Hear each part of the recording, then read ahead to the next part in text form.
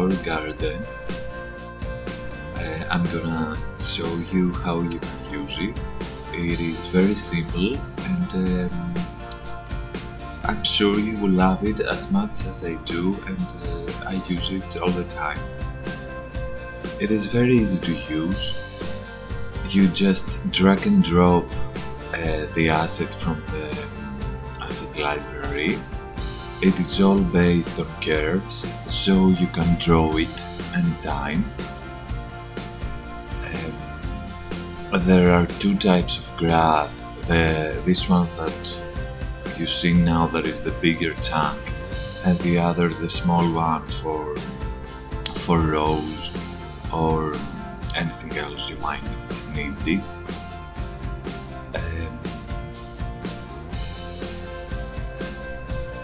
It works both in medium cycles. All the flowers um, can be replaced and the leaves with custom ones. As you can see on the settings panel, it says replace flower and uh, replace leaf. Uh, you can adjust the flower count, the leaves count, the rotation, stem size, but the initial numbers are quite good so you, you don't mind need to change that. For the rocks, uh, you just tap, uh, you just click once, you don't have to draw it. Um, same for the grass and I think for the trees. For the flowers you can draw.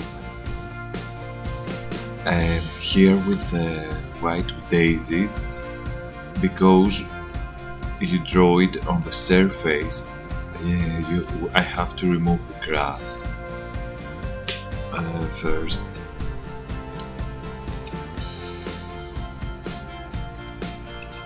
So as you can see after I remove the grass um, it can draw on the surface pretty well.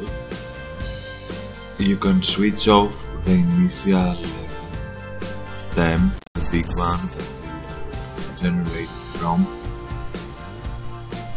because that way you can use it with other other any kind of mesh you might need. Oh, I love this red bougainvilleas, uh, they're amazing.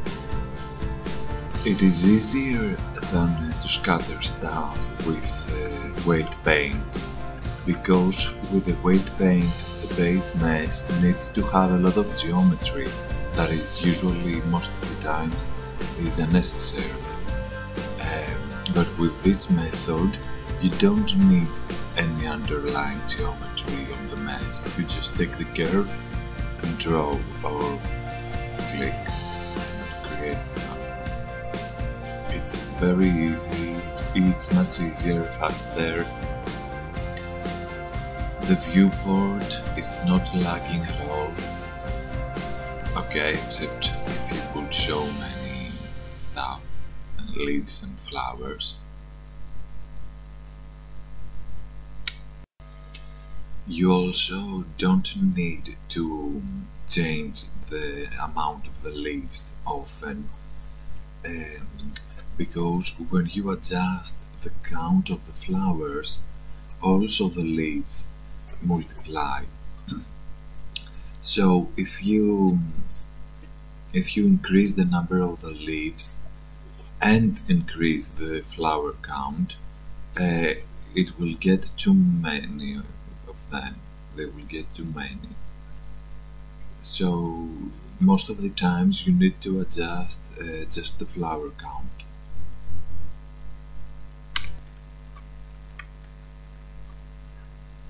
uh, one thing uh, I couldn't fix is that every time you import an asset for example uh, every time when you import a different flower um, it imports the leaf mesh again but it's the same leaf for all of them.